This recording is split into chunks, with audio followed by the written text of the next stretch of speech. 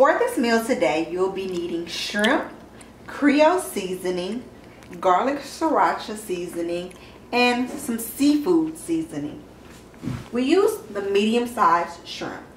You're going to need lettuce. I already buy the pre um, the pre-shredded lettuce, iceberg lettuce, tomatoes, hoagie rolls, fish fry, and we're going to be using some of the smoked chipotle mustard. Alrighty, so first you're going to start off by seasoning your shrimp. You're going to add your Creole seasoning. I love to use Tony's. Something that is a classic seasoning and very good.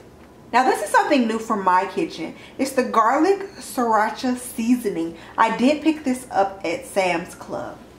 You're going to sprinkle a little of this.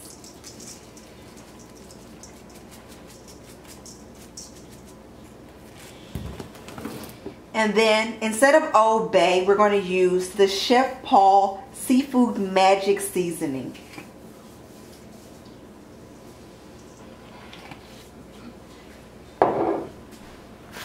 After you have added all of your seasonings in, you're going to give it a nice little toss.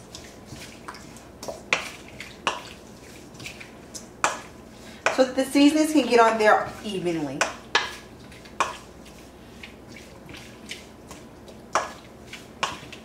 And you don't want to use too much because your batter is already pre-seasoned. You're going to add your seasoned shrimp to your batter. Make sure that you shake off any excess juices. And you're going to give it a shake.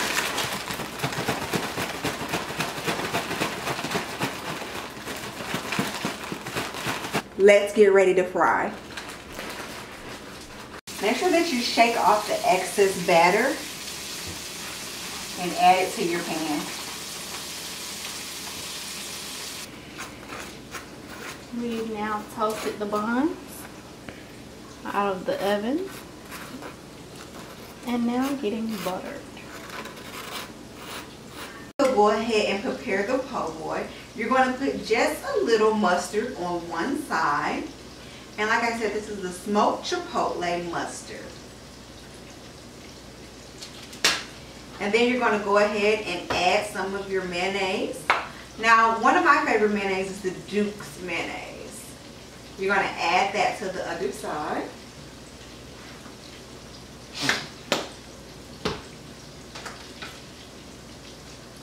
And make sure you spread that evenly across your hoagie bun. Now in most recipes, people use French bread.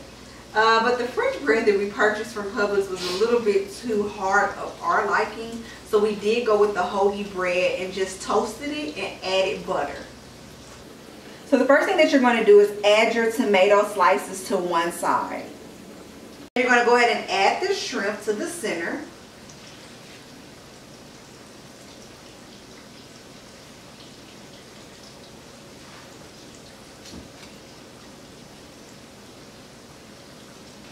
And top it off with a little lettuce. Or as much lettuce as you like. It's just a preference. And this completes our shrimp po' boy. Hope that you guys enjoyed it. Make sure that you check below for the details. And make sure you tell a friend to subscribe. And can't wait to see you at the next recipe.